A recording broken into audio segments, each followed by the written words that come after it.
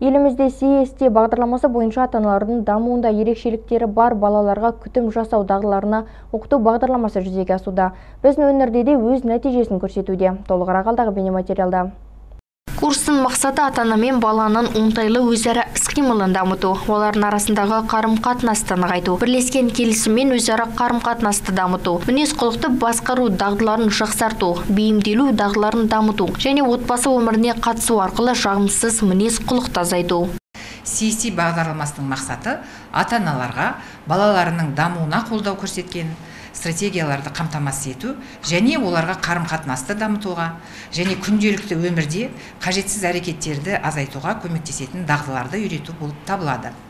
Жанұя емханасының басында 2021 жылы жамбыл облысындағы әртүрлі медициналық ұйымдарға 10 маманнан астам маман оқытылды. Олар сертификатталынып және ары қарай аустикалық спектрінің бұзылуы бар балалар тәрбиелеп отырған ата аналарды оқытты. Бүгінгі таңда оң нәтижелер бар. Біз аустикалық спектрінің бұзылуы бар балаларды тәрбиелеп отырған ата аналарды әрі қарай оқыту үшін тренингтер өткізудеміз мамандарды дайындаудамыз. Әрине бұл ата аналар және балалардың өзінің өмірін жақсарту үшін арналған бағдарлама.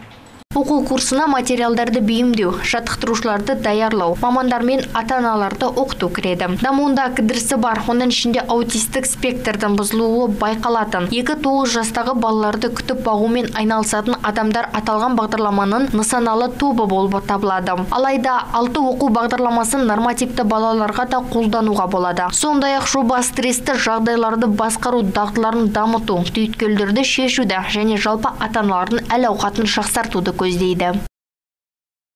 Тахмина тәліпжанова ислам құдиярбек ернар сатыбалды жеті жеті ньюс.